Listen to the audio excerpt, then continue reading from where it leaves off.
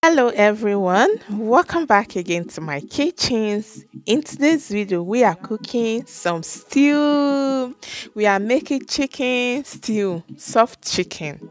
Okay, the one we call chicken lap. so we are making this stew with chicken lap, but first of all, we are going to be grilling this uh, the chicken. Okay, so I've washed and cut my chicken. The chicken is washed cut and I um, paper dry it or that towel dry it.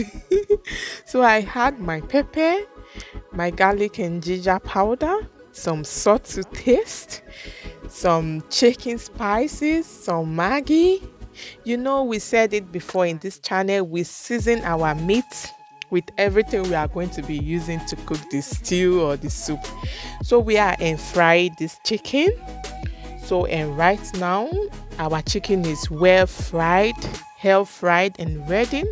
I air fried this chicken for like 25 minutes or 25 minutes and the chicken was ready well fried and it tastes really nice guys and I love it. So I'm going to be setting this aside to start the stew because we are making this before we start making our stew okay so for the stew, I'm using some olive oil because right now it's difficult to get oil. so I had in some sliced onion. So let the onion transluce or release its own flavor to the oil. So I had in some rosemary and some bay leaf. I give this a nice stir.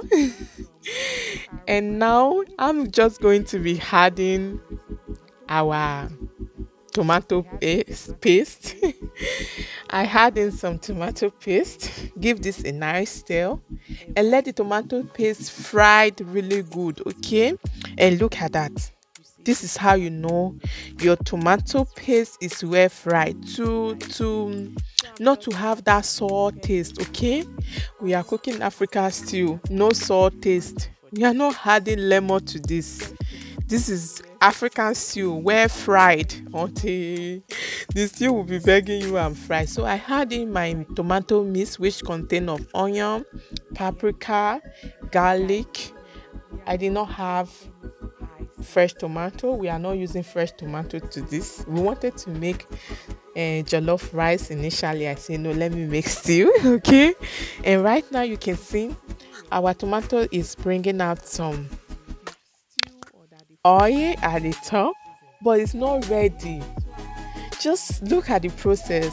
There is oil, it's not ready. When it's ready, you are just going to know that your your stew is ready. The whole neighbor will be doing the whole house will be smelling good and you have to start locking your door so that the odor will not transfer to your clothes or to all the parts of the house. So I let it sit on the fire for more minutes and look at that my stew or that my tomato is well fried and ready. I'm just going to be adding only pepper to this. This is grounded dry pepper. Okay, we are now adding some fresh pepper. I had one one pepper before but that one was fresh pepper so we are just adding some grounded pepper. I give this a very nice stir and i continue frying.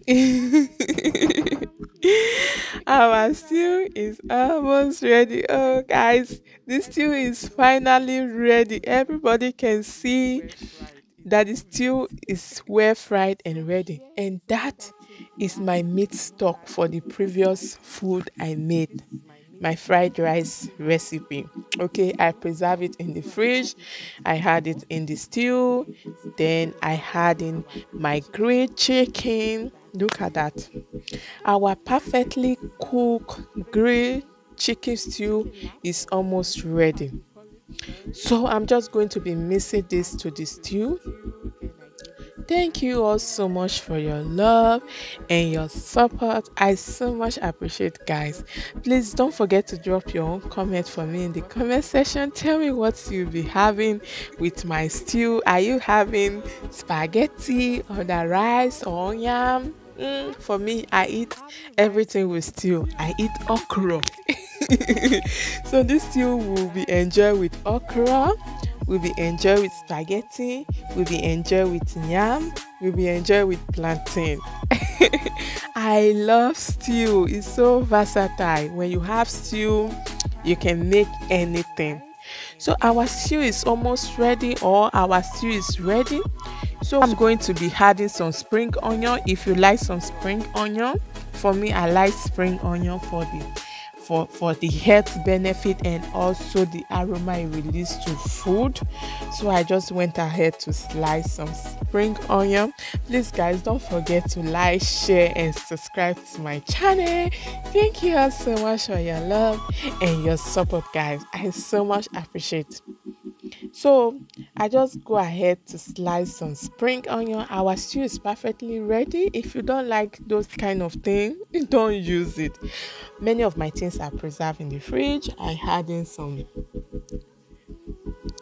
spring onion from the fridge not fresh one. And that is the end of this video. Thank you all so much for watching and see you all in the next video. Enjoy the rest of the video and bye